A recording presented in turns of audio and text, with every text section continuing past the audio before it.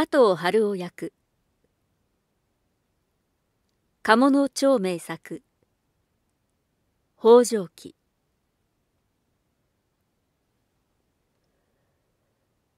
川の流れは常に絶えることがなくしかも流れゆく川の水は移り変わって絶え間がない。本流に現れる飛沫は一瞬もとどまることがなく現れるやすぐに消えてしまってまた新しく現れるのである。世の中の人々の運命や人々の住処の移り変わりの激しいことなどはちょうど川の流れにも例えられまた本流に現れては消え去る飛沫のように極めて儚いものである。壮麗を極めた花の都の中にぎっしりと立ち並んでいる家々はおのおのの美しく高いイかをお互いに競争し合っている。これらのいろいろな人々の住処はいつの時代にでもあるもので決して絶えるものではないのであるがさてこういう奇戦さまざまな人々の住処のうちに普遍のものを見いだすということはできるものではなく昔のままに現在までも続いているという住処はほとんどなく極めてまれに昔の美しさのあるものを発見するのがすこぶる難しいことなのである。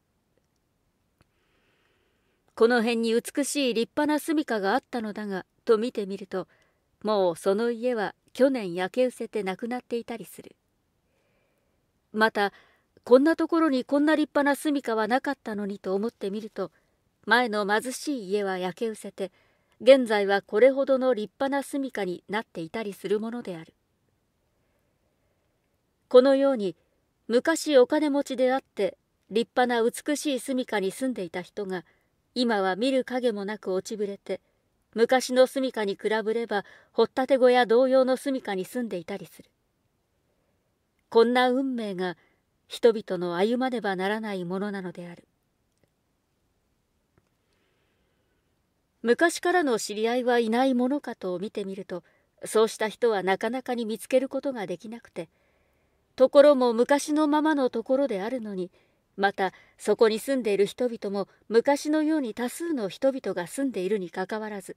10人のうちわずかに23人しか見いだすことができないありさまであってまことに人々の歩むべき運命の道のあまりにも変転極まりないのを見ると感動に絶えないものがある。人間のこういう運命明日に生まれては夕べに死していかなくてはならない儚い運命。変転極まりない運命。こういうことを深く考えてみると全く結んではすぐに消え消えてはまた結ぶ水流の泡沫のごときものではないかと思ったりする。本流に結びかつ消ゆる飛沫の運命。それが先ずるところ人々の歩むべき運命なのである。一体多くの人々がこの世に生まれ出てくるのであるがこれらの人々はどこから来たものであろうか。そしてまたどこへ行ってしまうのであろうか。などと考えてみるとどこから来どこへ行くかという問いに対して答えうるものはどこにもいるものではなくどこから来てどこへ行くかは永遠に解くを得ない謎であって人々はこの謎の中に生まれそうして死していくのである。水に浮かぶ泡が結びかつ消えるように。かく儚く解くを得ない運命を歩まなくてはならない人々はまたこの世において何を楽しみ何を苦しんで生きているのであろうか。泡のごとくに消えなくてはならないわずかの人生の中でどんな仕事に面白みを見いだしまたどんなことで苦しんでいるのかと多くの人々の答えを求めたとすれば各種各様に答えが出て決して一つのものにはならず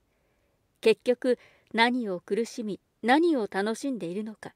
また何をなすべきかなどということも一つの永遠に解きえない謎になってしまうのである。長い年月の間に火事のために地震のためあるいは他のいろんな返事のために立派な美しい家がなくなってしまったりまたお金持ちの家が貧しくなったり尊い地位にあった人が卑しい身分に落ちぶれたりする。こうした人々やその住処の移り変わりの極まりないことはあたかも朝顔の花に置く朝露とその花とのようなものである。花は梅雨の住処である。梅雨は朝顔の住人である。梅雨が先に地に落ちるか花が先にしぼんでしまうかどちらにしても所詮は落ちしぼむべきものである。梅雨が夕日の頃まで残ることはなくまた朝顔とても同じこと。朝日が高く昇ればしぼむべき運命なのである。人々と人々の住処も所詮は朝顔に置く朝露と朝顔の運命とをたどらねばならないものである。どちらが先に落ちぶれるかそれはわからないが所詮は落ちぶれるものなのである。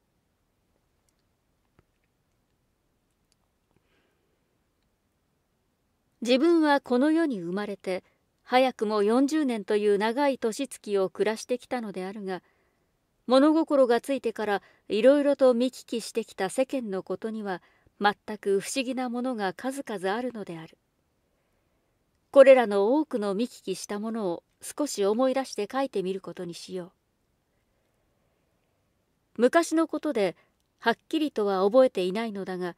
確か安元3年4月28日くらいであったと思うが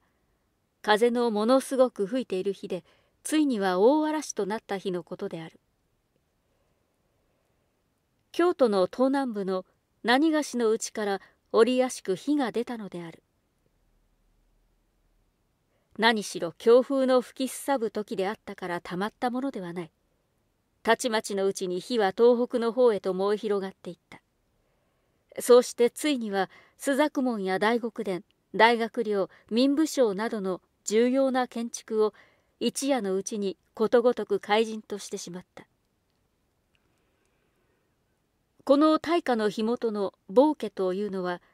後の調査によると樋口富野工事にある住処で病人の住んでいたものであった。燃え上がった火炎は檻からの突風に煽られ煽られてそれこそ扇を広げたような形になって末広がりに広がっていった。火元から遠くにある家々は猛烈な煙のために全く囲まれてしまって人々は煙にむせび呼吸すら全く自由にはできないありさまであった。炎上している家々の近くの道路は火炎があふれ出てくるために人々の通行を全く阻止してしまった。都の大空は延々と燃え上がる炎のために夜は火の海のごとく真っ赤でどれだけ強い火がどれだけ多くの家々を燃やさんとしているかを物語っていた。また一方風はますます強くなるばかりで一向に静まりそうにもなくその強風は時々火炎を遠いところへ吹き飛ばしてまた新しく火事を起こしてますます火事は広がっていくのであった。嵐と火事の真っ只中に囲まれた今日の人々は全く反響乱でそのなすところを知らずというありさま。皆もう生きた心持ちもなくただただ自然の成り行きに任せて見ているより仕方がなかった。何をするなどという頭はまるで働かず呆然自失。全く手の下しようがなかった。吹きつけてくる煙に巻き込まれた人は呼吸を止められてぱったりと倒れ人事不正になりまた吹きつける火災にその身を巻き込まれた人々はすぐにその場で尊い一命を奪われてしまうこともあまたであった。こんな混乱と危険との間を幸いにもかろうじてその生命を全うして無事に脱出し得た人々でも自分の住処から大切な家財道具を持ち出すことはまるで不可能で大切な家財が皆火災のために怪人とされてしまうのを目の前に見ていた。それでいてどうすることもできなかったのである。このようにして焼け失せてしまったもろもろの家財道具あるいは宝物その中には定めし先祖伝来父祖伝来のものもあったであろうにそれらのものの値はどれだけであったか考えてみることもできないほどに莫大なものであったろうと思われるのである。苦行の屋敷がこの度の大火のために16という多数も焼け失せてしまったほどであるからまして身分の卑しい主張人たちの屋敷の焼け失せた数は数えることもできないほどに多くあったことと思われる。この大火は今日の町の3分の1というものをわずかの間に灰にしてしまったのである。数多くの人々がこの大火のためにその尊い生命までも落としているのである。これらの中には青年少年で将来どれだけ偉大な仕事をやったであろうと思われる人々も少なくなかったであろうに惜しいことをしたものである。人間でさえこんなことになったのであるからまして畜生である馬や牛の焼け死にしたものは数知れずあったわけである。人間は本来いろんな具にもつかないことをするものであるがとりわけ今度のように一朝にして全てを怪人に帰するというような危険性の多分にある都会の中にあって一朝にして灰となる運命も知らぬげに自分の住処に大層なお金をかけてああでもないこうでもないといろいろと苦心して立てることほど間抜けな愚かしいことはないとしみじみと思い当たった。こうして苦労して立てても一朝火災に見舞われればすぐに怪人となってしまうのであるのに全く建物にお金をかけたり苦労するほど馬鹿らしいことはない。自称4年の4月の頃にはまた大きなつむじ風の起こったことがあった。京極のほとりに起こって六畳の辺りまで吹いたものであった。全く物凄まじい勢いのもので三四丁も吹いていく間にぶつかるところの大きな家でも小さなのでもどんな家でもほとんど覆したり破壊したり破損したりしたものであった。それほど凄まじい勢いに吹き募ったことであった。つむじ風に巻き込まれてそのまま地上の上にぺしゃんこに倒されてしまったものや桁と柱だけが残って障子や壁はすっかり吹き抜かれてしまったのもあった。そうかと思うと門を吹き飛ばして四五丁も先に持って行ってしまったり柿を吹き飛ばしてしまって林家との境を取り除けてしまって庭続きにしたりして方々にとんだ悲劇を起こさせた。家々にあるいろんな家財道具の類も根こそぎにすっかり空に吹き上げてしまった。屋根を覆っているところの日和田吹板の類はちょうど冬の頃に木の葉が風に舞い上がるように乱れて空に吹き上げられた。煙が都の空を全く覆ってしまったのではないかと思われるほどに都の空には塵や埃が舞い上がって天日ために暗きを感じたほどであった。人々の話し声などは荒れ狂う強風のために全くかき消されてしまって聞こえるどころの騒ぎではなかった。都の町々に聞こえるものはただ風の吹き荒れる凄まじい音響のみであった。その風の荒れる様の凄まじさはまるで伝え聞く地獄の豪の風が現実の世に吹くのかと思われるほどのものであった。吹き倒された家破損された家それら家々の無残な様子は全く目も当てられないほどである。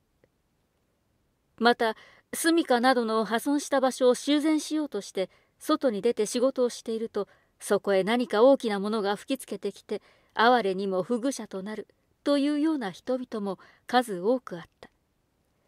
まことに気の毒な人々である。このつむじ風はまた西南の方に向かって動いていってそこに住んでいる人々に対しても前同様にいろいろな損害を与えて人々を悲しませた。春夏秋冬を通じて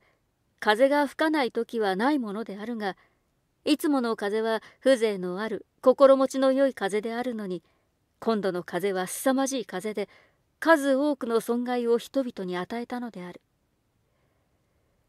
こんな風は何年かの間に一度とあるかなきかの風であってまことに珍しい例外とも言うべきものである。今度の大惨事のことを深く考えてみるとこれはきっと天の神様が地上に住む人々に対して一つの警告として与えてくださったものだと考えざるを得ないのである。自称4年6月頃の出来事であったのだがにわかに都が他の場所に移ったことがあった。このことが非常に急に不意打ちに行われたので都の住人は驚きかつは狼狽したのであった。大体京都に都が定められたのは佐賀天皇の御時であって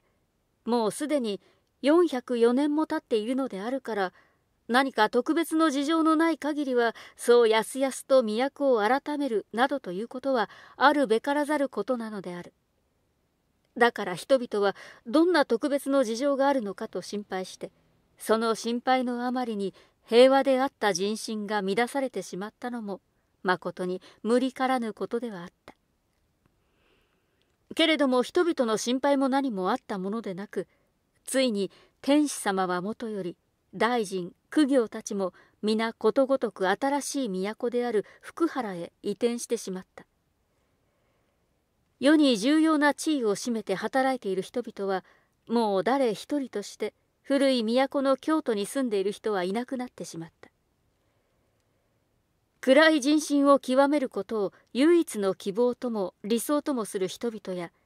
天使様の大声のめでたいことを願っている人々は一日も早く古い都を捨て去って新しい都の福原へ移り住むことを一途に心がけた。けれども世に取り残されて位もなく何らの望みも理想もない人々はこの出来事に対して悲しみ憂えながらも古き都を捨てえずに寂しく残っていたのである。皇位交換の人々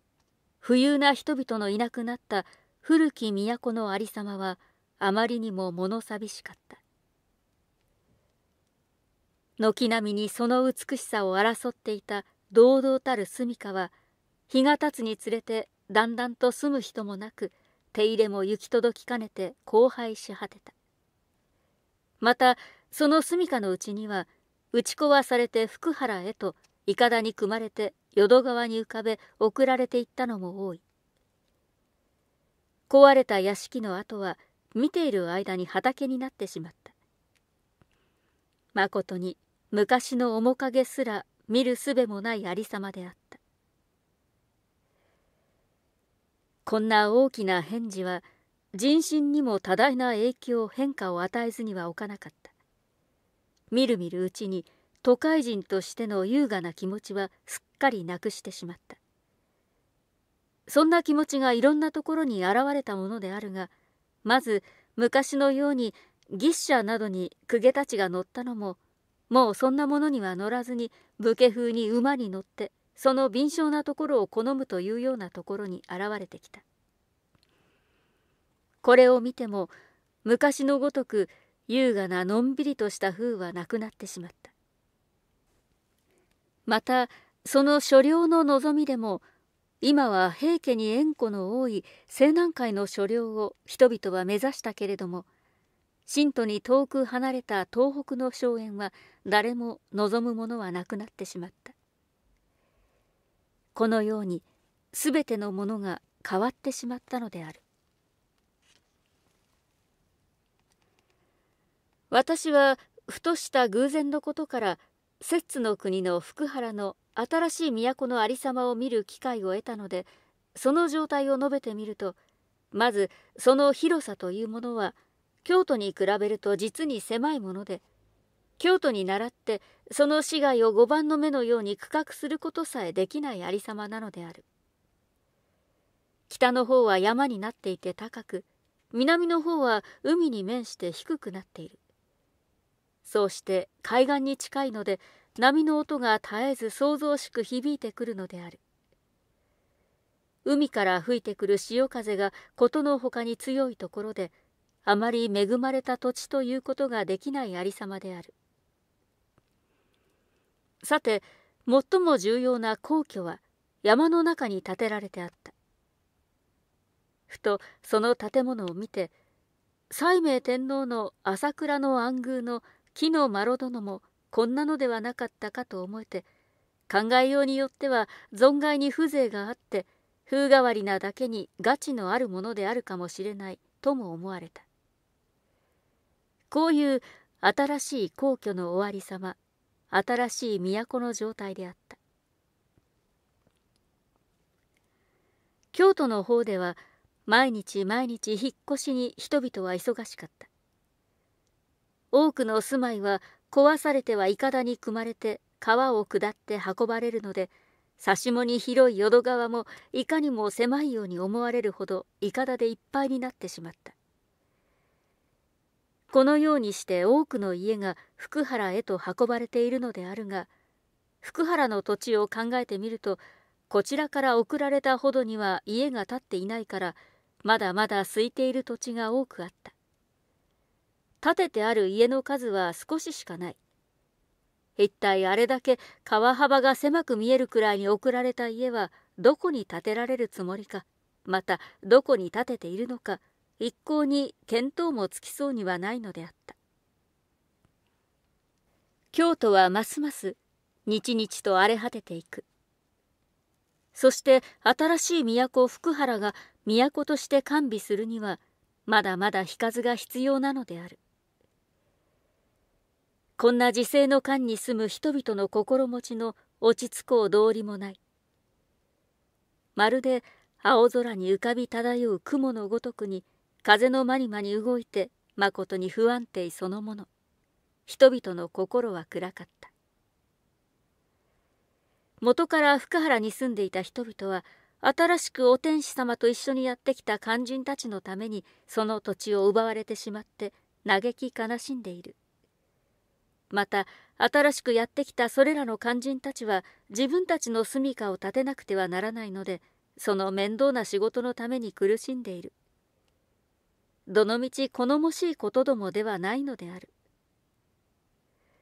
ふと往来を行き交う人々に目をやってみると牛車に乗るべきであるところの尊い身分の者がそんなものには乗らずに馬に乗ったり遺憾ホイを着ていなければならないはずの大宮人たちは信仰の勢力にこびて武家の着るはずのたたれなどを着て大宮人の優美な風俗をなくしてしまいそしてついには都らしい優美にガチのある風俗はみるみるうちになくなってただもう田舎めいた荒々しい武士と少しも変わるところのないまことに情けないありさまとなった。ほのかに聞き伝えるところによると昔の聖天使様の御代にはご政治の中心点は一般庶民を憐れむというところにあったようである。民草たちが貧乏のために苦しんでいる時とか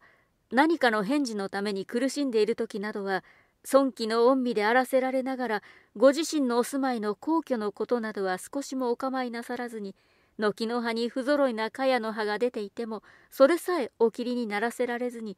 その上に民草が食べるお米のない時には年貢さえも免除されたほどなのである。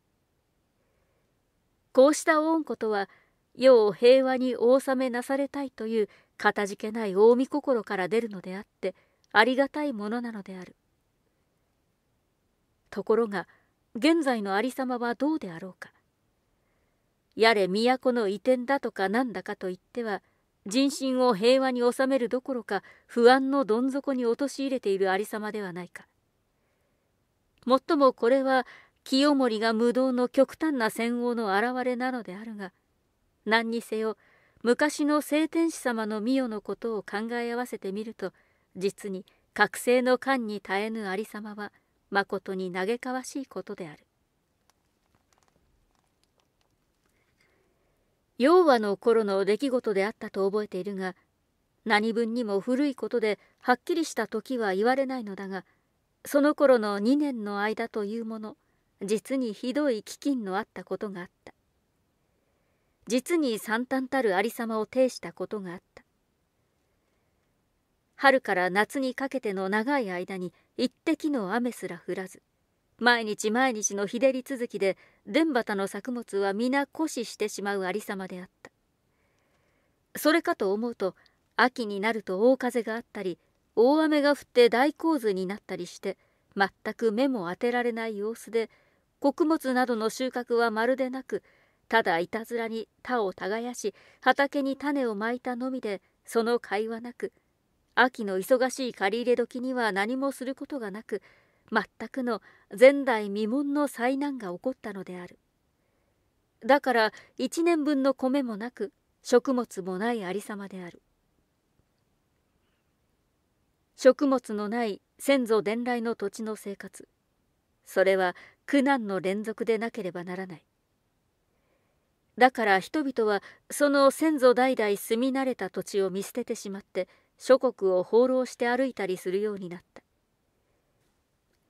またある人々は家や高地をまるで見忘れたかのように見捨ててしまって山の中に入り込んで暮らしたりしていた。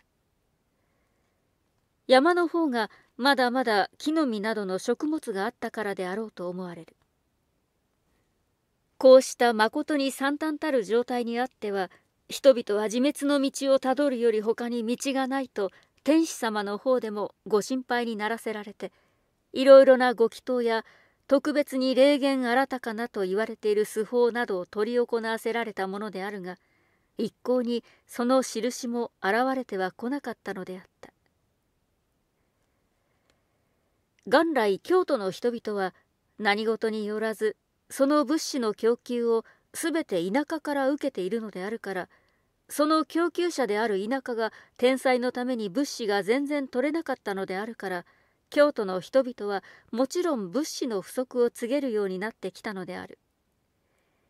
京都は全く物資の供給者を失ったことになったのである。こうなると困るのは京都の人々である。第一に食物を売ることができない。それでその食物を売るためにとうとう恥も外聞もなく家財道具を捨て売りにしてはお米を持っている人々のところへ買いに行くのだけれどもこう物資の不足している時に大事なお米は売れないとあってとても高い値でなければ売ってくれない。こういう状態だからどれだけお金があっても宝物があってもどうにもならないありさまである。だからだんだんと日の経つにつれて小じどもが多くなってきて路傍にいっぱい群がって時期を乞う。その哀れな叫び声が道に満ち溢れて聞こえてくるようになってきたのである。しかし陽は元年もこのような惨憺たるありさまの中にどうやら暮れてしまったのである。明けて陽は2年。人々は今年こそは物資の豊かな平和な世に立ち直るものと期待していたのであるがその期待は見事に裏切られてしまった。というのはこういう飢饉の惨状の上にまたその惨状を上塗りするかのように疫病が流行しだしたのである。人々の惨状は目も当てられずますますひどいものとなっていったのである。元のような平和な世はどこへ一体行ってしまったのかと恨みたくなるくらいであった人々は飢饉で弱っている身に疫病の難にかかり多くの人々はその生命を落としていった。一方物資の欠乏はますますひどく人々は苦難のどん底に落ちていった。このありさまはちょうど水の少ないところにたくさんの魚を入れたようなものであって所詮は皆その生命を奪われる悲しい運命にあったのである。ついには相当な身分の人たちでさえキャハンに足を包み顔を傘に隠して恥ずかしさを忍びながら軒並みに時期を恋いながら歩くというありさまになった。このように時期を恋いながら歩いたとて時期を与えてくれる家とてあろうはずがないので人々は疲労困憊その極みに達してしまって今そこを歩いていたかと思うと直ちにばったりと倒れてその尊い命を落とすということはもうごく普通にありうるといういとも哀れな状態にまでなってしまった。だから街路にはどこへ行っても行き倒れた哀れな人々の死骸が見いだされた。あちらの土塀の前こちらの門の前というように全く目も当てられないありさまだった。その上にこれらの餓死し行き倒れた人々の屍を取り片付けようとするものがないので日が経つにつれてだんだんと屍は腐っていって形が崩れ悪臭はふんふんとして町中にあふれていたのである。町がこのような状態なのであるから鴨の河原などに至っては実に数多くの屍がいっぱいにあふれていてそのために牛車や馬車の通る道すらもないというひどいありさまであった。山へ行って薪を取ってこれを都の人々に売ってその日の暮らしを立てている先民や木こりたちは飢えのためにもはやその毎日毎日の仕事すらできないのである。そのために都の人々は薪が不足してきたのである。だから全くのよるべのない独り者などは自分の住処を破壊しては薪にこしらえてこれを薪に困っている人に売ろうとするのであるが一人が町に出て売ってくる代価だけではその人一人すらの命を保つだけの値にもならないという悲惨なありさまである。それにも増して機械というか哀れというかまことに変なことがあった。というのはこうして薪の不足を補うべきものの中に立派な塗りのしてあるのや金銀の箔のついた材木が時々混じっていることであった。これはまことに機械千番といろいろと考えてみるといよいよ上のために困った人々が売るべきものは皆売り尽くしてしまったものだから寺院の中へこっそりと入っていって仏像を盗んできたりお堂の道具をむしり取ったりしてそれを薪にして売りに出したものだということが分かってきたのである。物資の欠乏が書くまでに人の心を濁らせるものかと安全たるものがあった。こうした大変な世の中に生まれ合わしたばかりに楽しかるべき人生にこうした悪辱の姿を見なければならないのはまことに情けないことである。世を挙げての悲惨な中にもまして最も哀れであるのはお互いに愛し合っている人々の運命である。相愛の夫婦深く愛している夫を持ち妻を持つ人々は自分はとにかくとしてまず愛する夫へ愛する妻へとなけなしの食物すらも与えるのが人情である。こうした人々は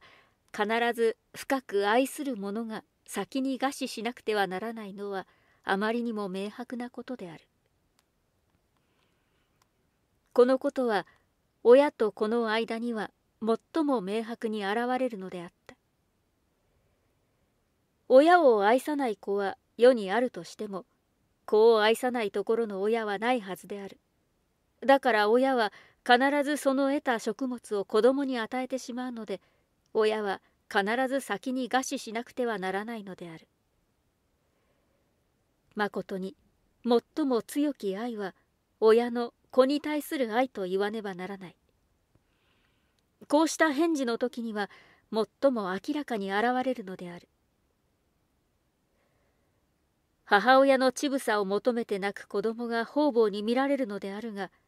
すでに母親は死しているのにその屍に取りついて泣く赤ん坊の痛いけな姿はこの世での地獄と言っても決して言い過ぎでないような気がするのである。まったく今日の町々は昔の平和はどこへやら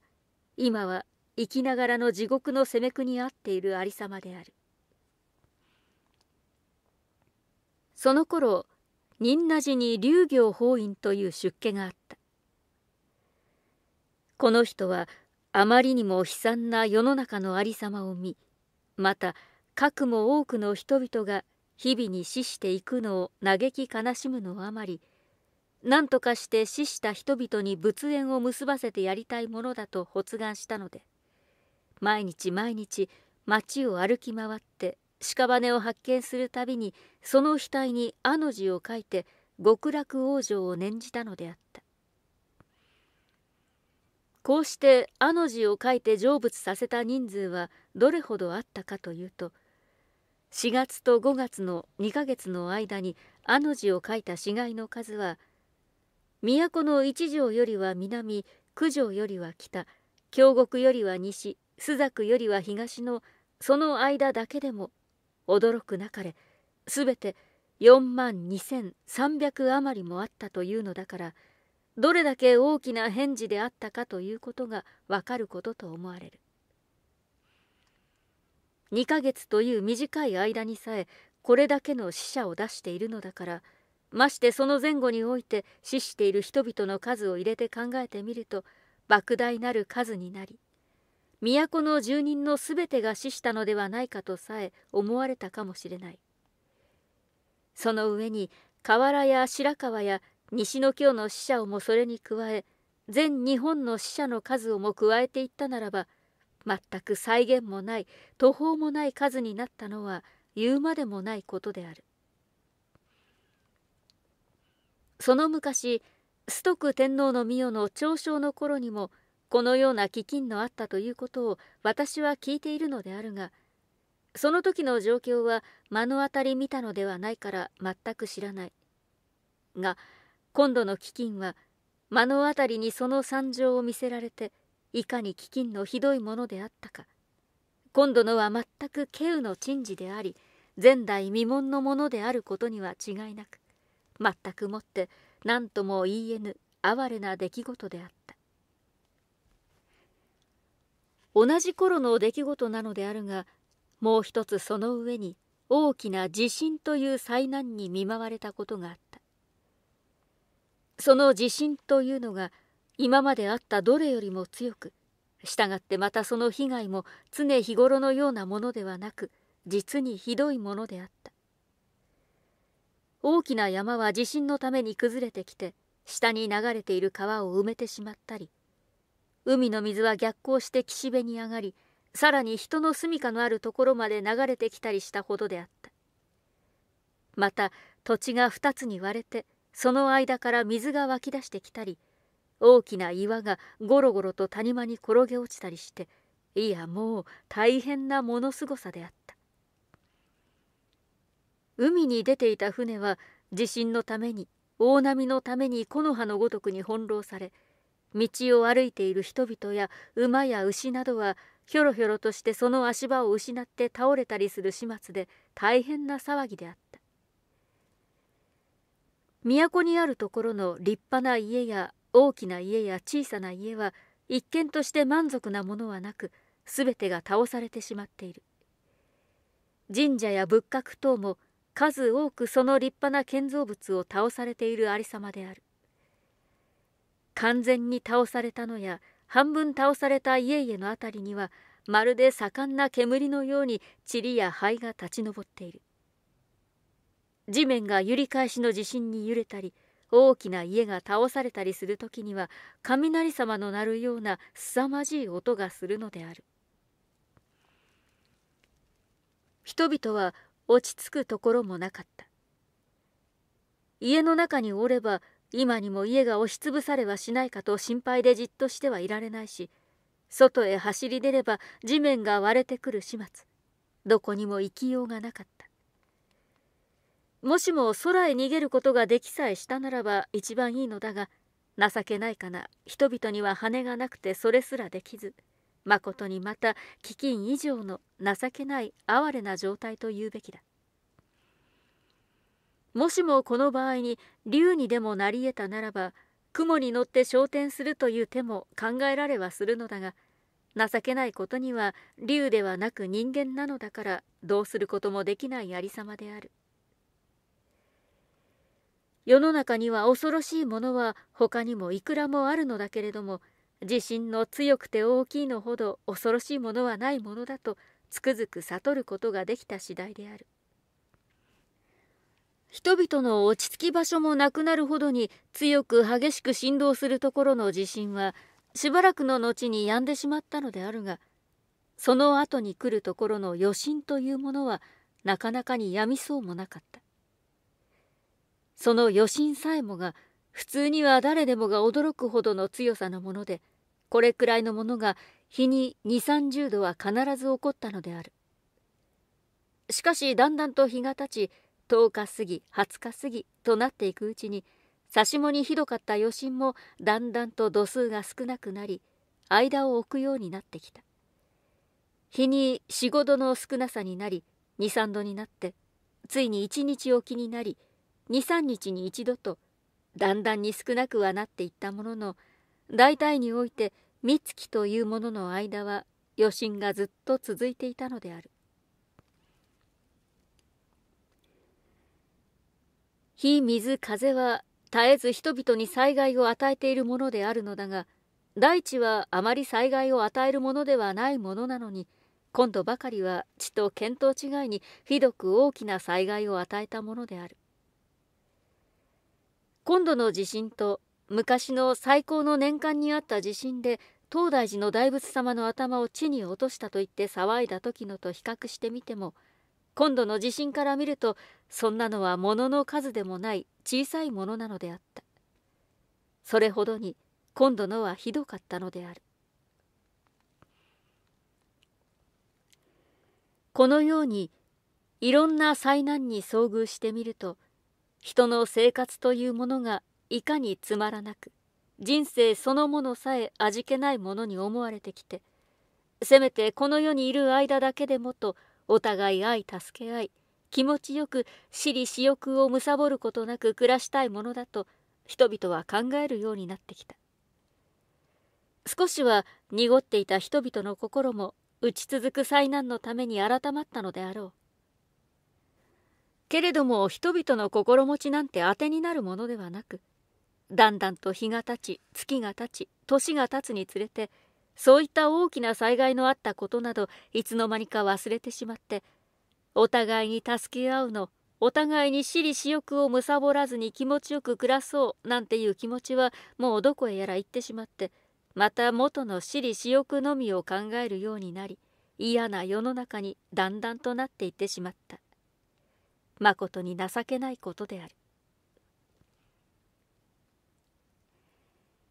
すべて世の中は無常であってなかなかに住みがたいところであるということは上述の通りでありまた自分自身の運命の儚く頼りないことも同じでありその住みかさえいつ何時どんな災害に見舞われないとも限らないのも同様のことである。まして人々はその上に住む場所や身分に応じて世の絆の拘束のためにどれほどに悩んでいることか知れやしない。このように世の中は難しく住みがたいところなのである。一方には自然の災害があり一方ではお互いが愛し合うこともなく一人一人が勝手に暮らしているこんな世の中は全く地獄も同然と言ってもよいのだ。住む場所にしたところで家のぎっしりと詰まっているところの狭い町の中に住んでいるとしたならば一度猛火に遭遇した場合には必ずその災いを受けなければならないのだしそれが嫌だと言ってずっと町を離れた田舎の方に住むとして火災の難は逃れるとしてもちょっと外出したり散歩したりするにも道路の悪い田舎道を長く歩かねばならぬという不便なこともあるしあまり人里離れた場所ではしばしば盗賊に襲われるということも覚悟しなければならないのである。これでは落ち着いた暮らしもできたものではない。県政のある者はその現在持っている県政では決して満足していないで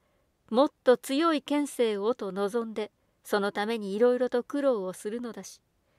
それかといって何らの県政もなく身分も低くて孤独な者は人々の軽蔑の対象となって苦しまなければならず。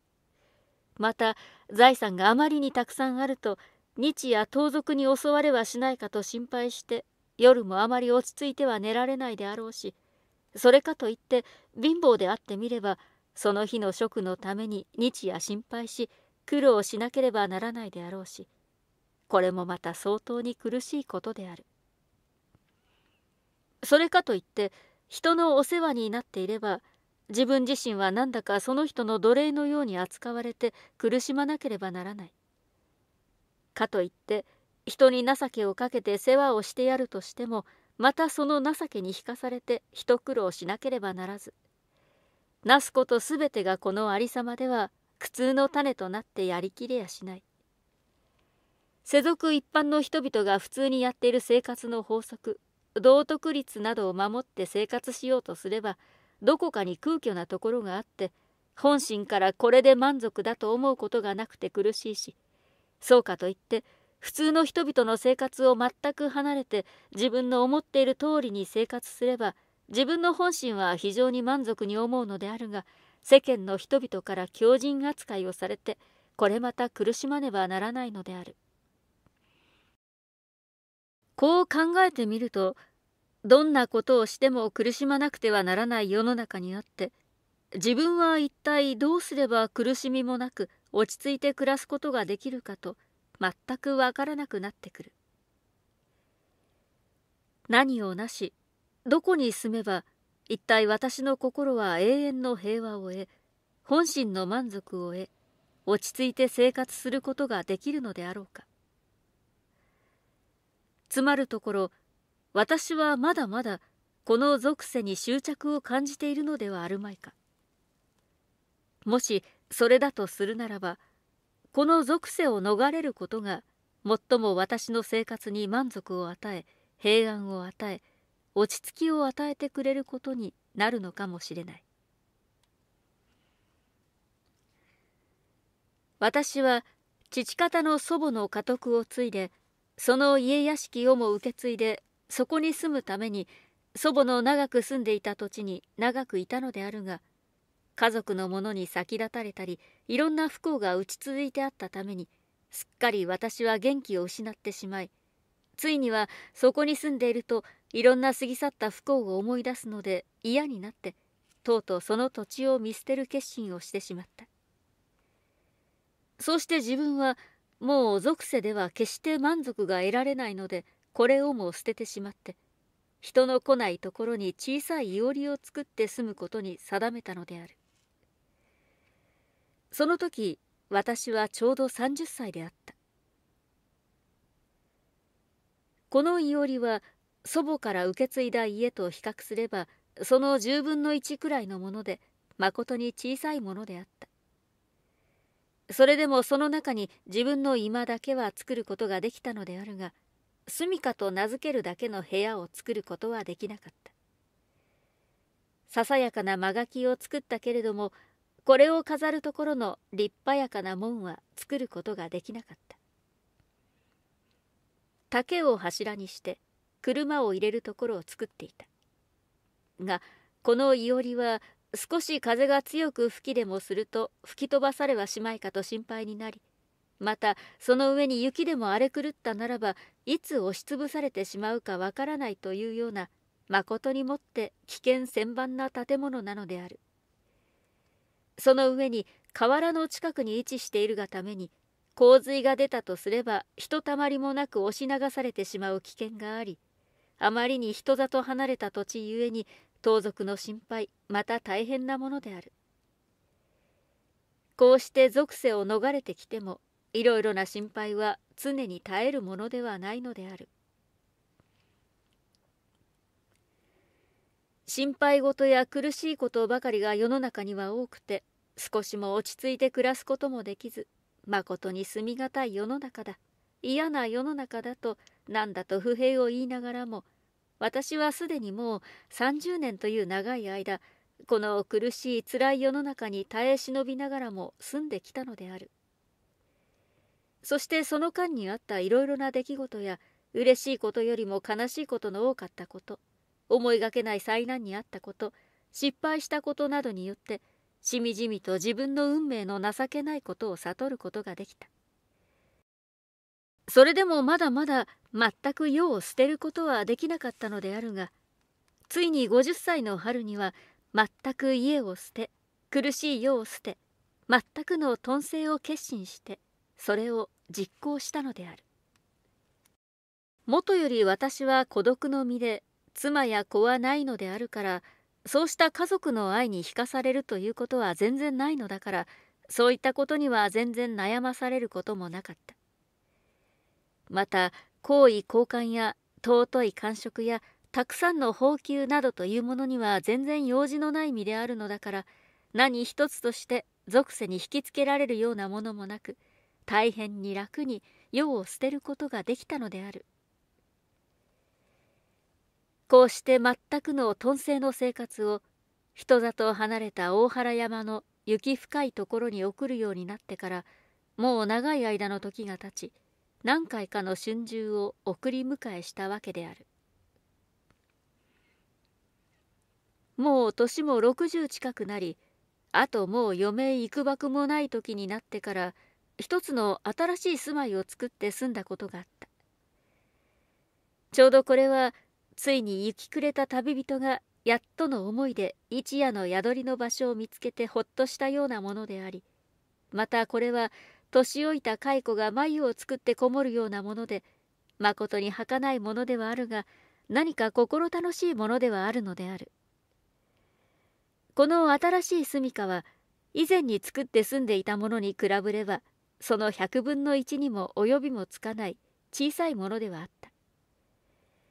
こういうふうにだんだんと年を取っていくにつれて自分の住処までがだんだんと狭くなっていく。なんだかいかにも自分の運命そのもののように思われて寂しい。現在自分の住処はどんなものであるかというと世間に普通一般に住処と言われているものと比較すればそれはもう住処ということさえできないようなチャチなものである。がこれで自分一人が住むにはまことに相応していて心持ちの良い住処であることには間違いはないのである。広さはわずかに一畳四方という小さなもので高さもそれに相当して七尺に満たないものなのである。一体私はどこに住まなくてはならないという考えは全然ないのであるからここがいいとかあそこがいいとかなんてことは少しも考えないでただ気の向くままにどこへでも土台を組み屋根を組んで板と板との継ぎ目には掛け金をかけるのみで至って粗末なものではあるがそれだけはいつでも気の向くところに至って簡単に建てられるという便利があるのである。だから建ててしまってからでもそこに何か気の向かないことでもあればすぐに壊してしまって他の場所へ移っていくのである。他の場所へ移るにしても少しの費用しかいらないのである。せいぜい車が2両ばかりあれば結構なのでこの車の借賃さえ支払えば労力は自分でできるのだから至ってやすやすと引っ越しもできるのである。現在の日野山の草案を立ててから後にその草案の東側に粗末ながらも三尺余りのひさしを取り付けて日よけにしてその下で芝を折ったりするのに楽なようにした。南には竹の縁側をこしらえたり北に寄った方に障子を隔てて阿弥陀様の絵姿を安置してそのそばに普賢様の像をかけその前に法華経を置いた。西の端には物を置くのに便利なように赤棚を作ったりしていろいろと住まいらしい設備をしていった。自分の寝床には東の端にわらびの方を取ってきて敷いておいた。西南の方には竹の釣り棚を作った。それは真っ黒な革の籠を3つばかり置くためでありその籠の中には何冊かの和歌の書物や音楽の書物または往生要集などの抜き書きしたものが入っている。これはつれづれなる折に読みかつ慰めにするためである。そのそばには折琴と継ぎ琵琶と名付けてある琴と琵琶とを一針ずつ立てかけておいた。上述のごときものが現在の私の住まいである。住処の周囲の景色はどんなものかというと南の方には石で作ってある水たまりへ水を引くための家計が作ってある。毎日の必要な品である薪はすぐ近所に森があるので少しも苦労することもなく集めてくることができるのである。すぐそばには富山という山があるのであるが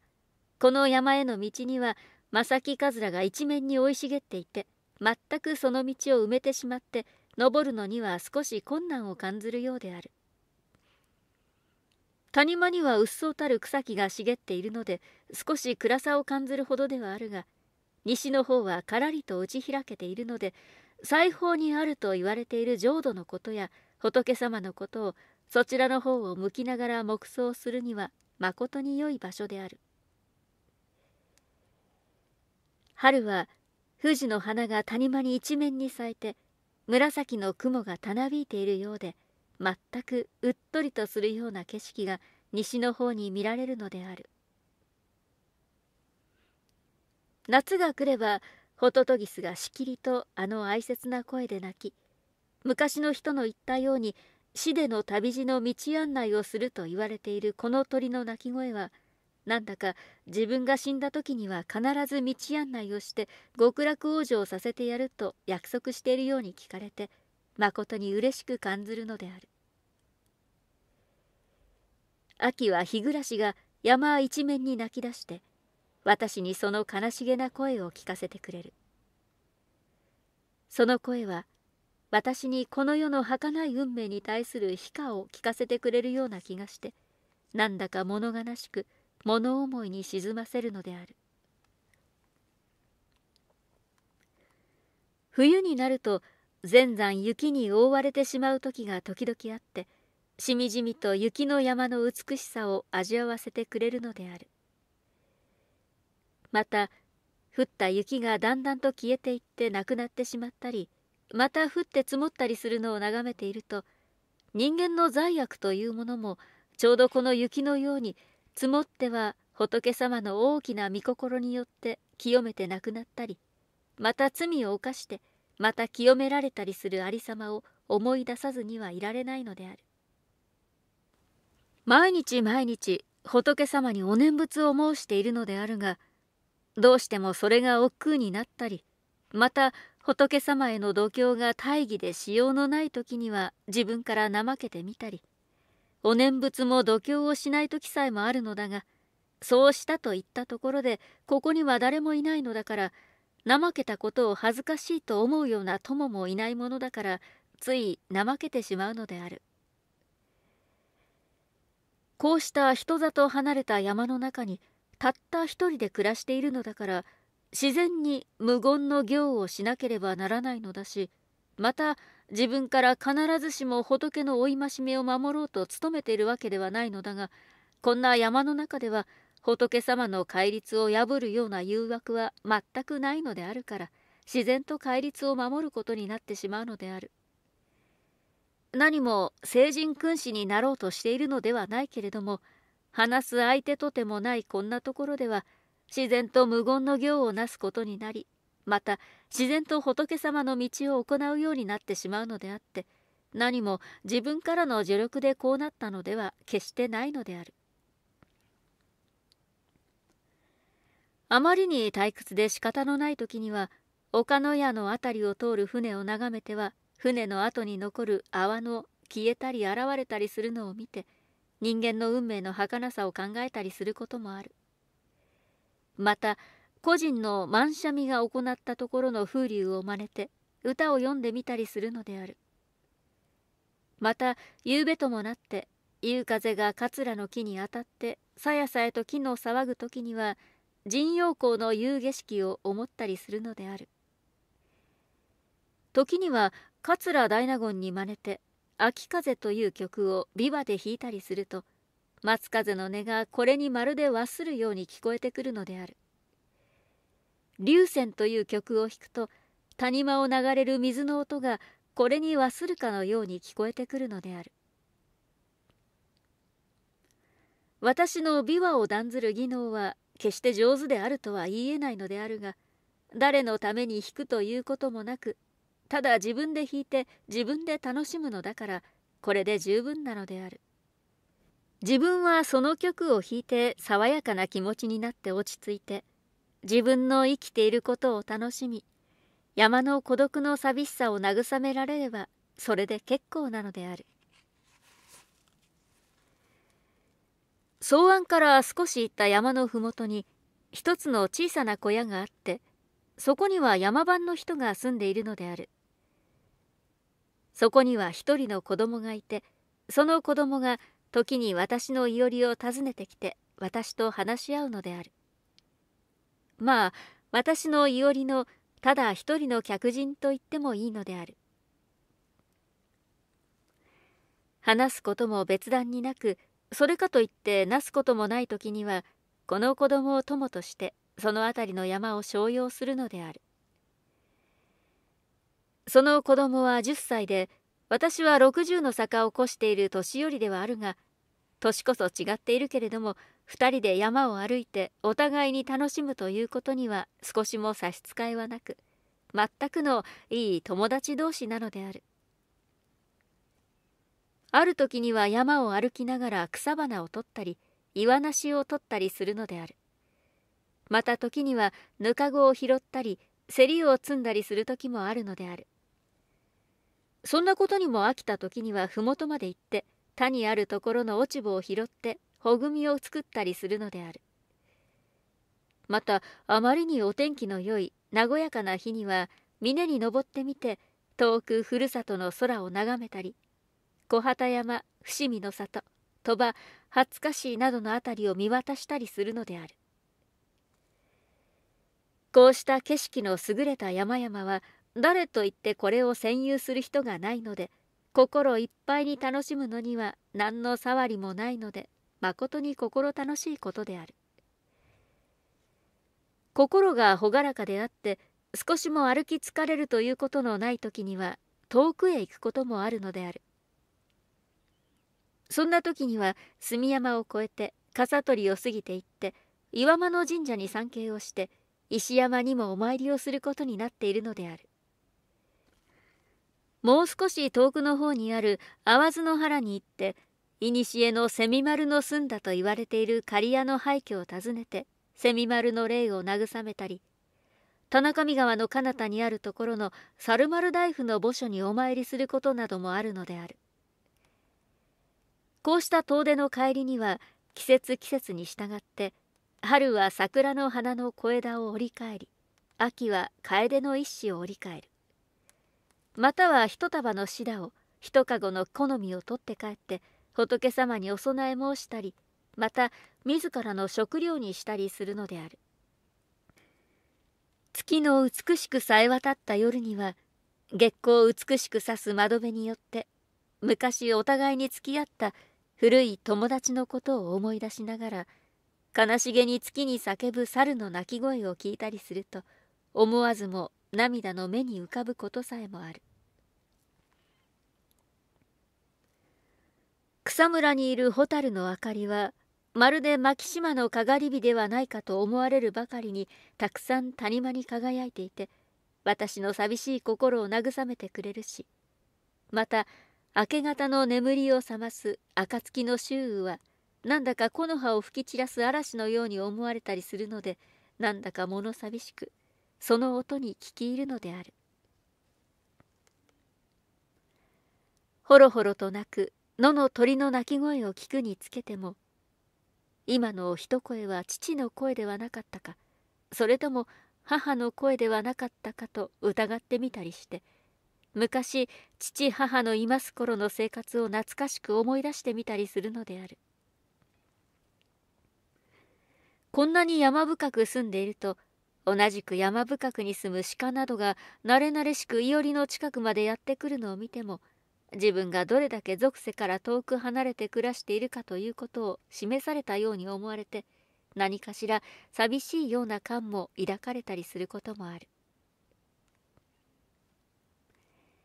60余りの老境に入ってみると夜の眠れないことが時々にあるのだがそうした時の唯一の楽しみは炭火をかき起こしてこれに温まるのが何よりである。こうした時には炭火でも大切な友達になってくれるものなのである。別に恐ろしいことのあるというほどに山奥でもないのであるけれども陰気なフクロウの鳴き声を聞いたりするとなんだか心寂しく哀れさをしみじみと感じさせられて感に耐えぬこともないではない。このように山の中の景物は春夏秋冬それぞれに面白みのあるものを与えてくれてなかなかに尽きるものではない。まして私たちよりも内政の深く知覚の鋭い人々であったならば私の感じたもの以外にもまだまだ面白みのあるものを発見してこれを楽しむことができたであろうけれども私のようなものでは以上のようなものにしか楽しみを見いだすこともできずなんだか身を哀れに思うのである。私がこうやって山の中に入って住むようになってから早5年の月日が経ってしまった。月日の経つにつれていおりもところどころが破れ損じているし軒下には落ち葉が深く積もっているしそしてその葉は朽ちるに任せてあるのだ。また苔が床の上にいっぱいに生えるようにさえなった。今日からの時々の風の頼りに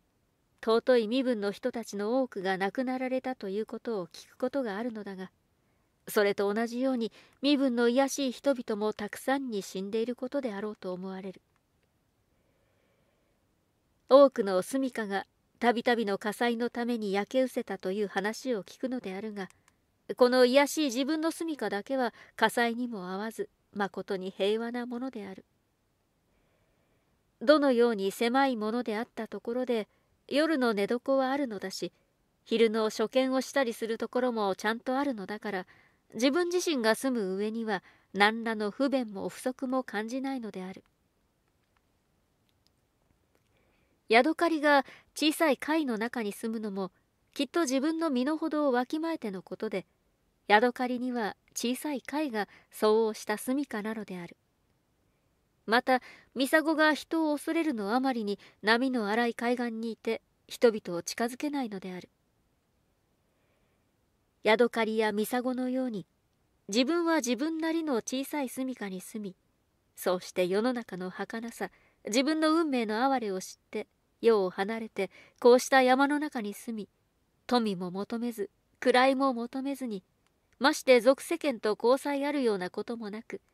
ミサゴやヤドカリが自分自身だけの平安を楽しむように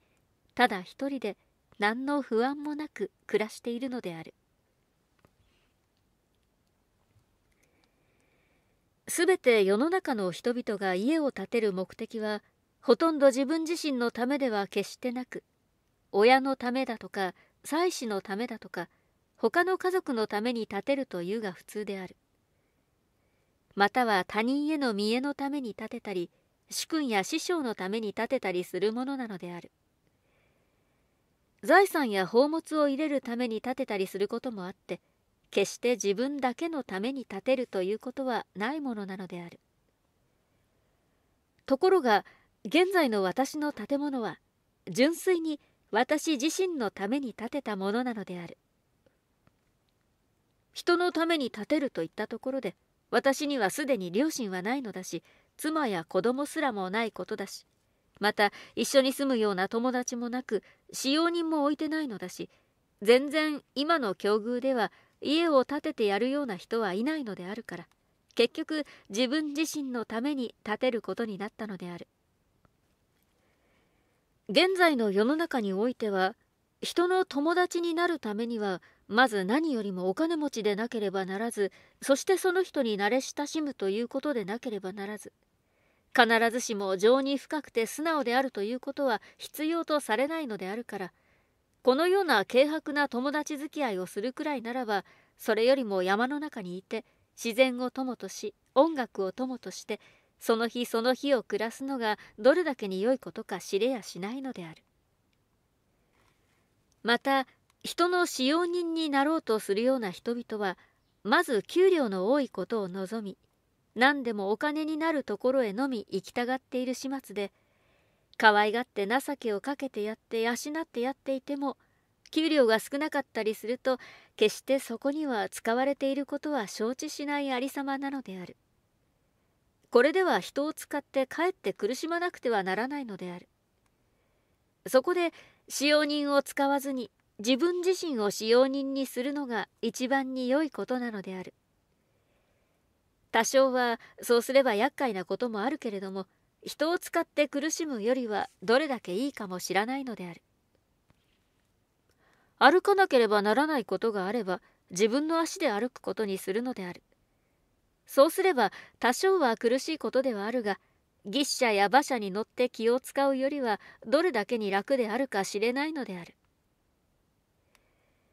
私の身は二つの使用人を兼ねているのである。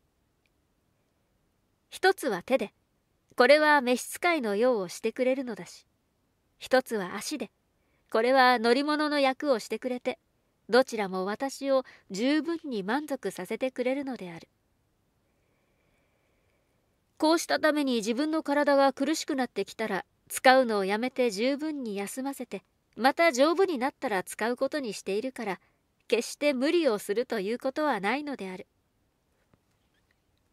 だるくなって歩くのも仕事をするのも気が向かない時でも何も気に病むことはないのである。まして毎日働いたり歩いたりすることはこの上ない身の養生となることなのである。だからどうしても何もしないで怠けているというわけにはいかないのである。歩いたり自分の身の回りのことを他人の手を借りるということは明らかに一つの罪悪でなければならないのである。衣食のことについても同じことが言い得ると思うのである。富士の衣麻のヤグといったようなもので着るものは十分間に合うのであってそれ以上のものは不要なものなのである。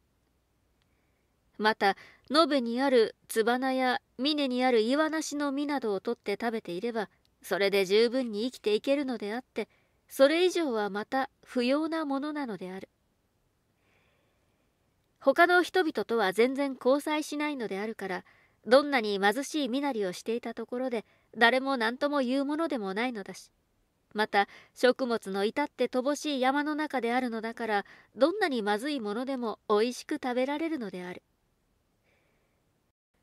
こうして今の自分の生活を書いてみるのは何も他の止める人々にこうした暮らしをせよと言って教訓するのではなくただ自分がまだ属性を捨てずに属性に住んでいた時の生活と今の生活とを比較するために書いてみたまでのことなのである。この世の中というものは心の持ち方一つで苦しい世の中にもなり楽しい世の中にもなるものである。精神がもし安心流明の境地に立っていなかったならばどれだけお金があり立派な住処に住んでいてもそれは何にもならないのであってやはり苦しい暮らしをしなければならないのである。今自分はこうして寂しい山の中へ来てただ一間しかないところの狭い家に住んでいるけれども精神はまことに平安で毎日毎日を非常に楽しく暮らしているのである。その上にこのように粗末な住処だけれど私はこの住処をこの上もなく愛しているのである。たまたま都の方に出て托発をするのであるがそんな時には自分がこんな小じ坊主になったことを恥ずかしいとは思うことがあるのだけれどもこの小さな自分の住処に帰ってみると俗世の人々が浮世の妙理にのみ執着して暮らしているのを考えてみるとそれらの人々が哀れにさえなってくるのである。が私がこんなことを言えば人々はお前は夢のようなことを言うと言うかもしれないがしかし魚や鳥の生活を深く考えてみるといいのである。魚は一生を水の中に暮らして少しも水に飽きることがない。また鳥はその一生を林の中で送ることを願っているのである。この鳥の気持ちや魚の気持ちは魚自身鳥自身でなくては知ることができないのである。私もそのように山の中で世を離れてただ一人住んでいるこの心持ちは本当にそうした生活をやってみなくてはわかるものではないのである。山の中の環境の楽しさ寂しさなどには俗世では味わうことのできない深い味わいのあるものであって本当に実践した人でなくてはこの味はわかるものではない。この味は好意交換に上るよりもお金持ちになることよりも数頭増しで私には良いことであり楽しいことなのである。さて私の一生ももう余命いくばくもなくして死での旅路に出なくてはならないのであるがもう現在では何も今更に嘆くことも悲しむこともないのである。仏様の見教えは何事に対しても執着心を持つなとあるのだが今こうして心静かに楽しく住みうるこの山の中の草案を愛することさえ一つの執着心の表れで罪悪なのである。私は仏様の世界から見れば何ら価値のない楽しみをごたごたと並べ立てて無駄な時を過ごしたものである。物静かな夜明け方にこうした真理を考え続けていき自分の心持ちを深く反省してみると自分がこうして浮世を逃れて山の中へ入った最初の目的は何だったかといえばそれは仏様の道に精進しようとしてやったことなのであるがそれにもかかわらず自分の生活というものを考えてみると外見は成人のようではあるがその心持ちはまだまだ成人には遠く及びもつかないもので全く俗人のごとくに濁ったものなのである。私の住処は昔の結馬孤児の北条の暗室を真似て建てたのであるが自分の行いや信仰の上においては一番路鈍だったと言われている仏弟子の首里判読の者にすら劣っているではないか。そしてこの原因はあまりにも貧しい苦しみをしたのでそのためにあまりに苦しんだから思うように修行ができなかったのであろうか。または煩悩があまりにも強かったがために心が狂ったのであったかなどと自分がどうして誤入できえなかったかと自問自答しても何らの答えも与えられなかった。それでただ口舌の力を借りて南無阿弥陀仏と二三度仏の皆を唱えてその加護をお祈りするまでである。時に建略2年弥生つごもりごろ宋蓮院が富山のいおりでこれを書き記したものである。